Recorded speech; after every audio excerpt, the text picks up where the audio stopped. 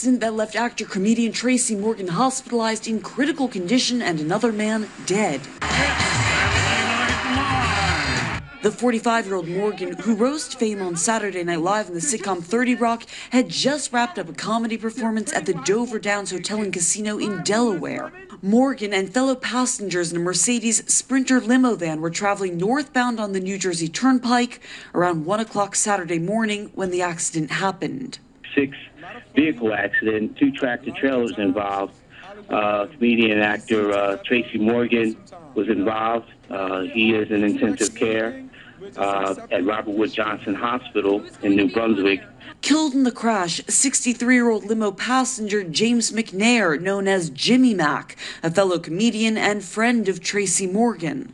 He always made sure that there were programs for the kids. He volunteered his time.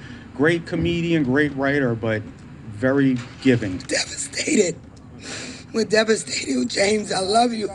The exact cause of the crash is still under investigation by state and federal authorities, but New Jersey State Police say the driver of the tractor trailer failed to observe slow moving traffic, swerved, and hit Morgan's limo van, forcing it to overturn. According to the Middlesex County Prosecutor's Office, the Walmart truck driver, 35 year old Kevin Roper of Jonesboro, Georgia, is facing one count of death by auto and four counts of assault by auto.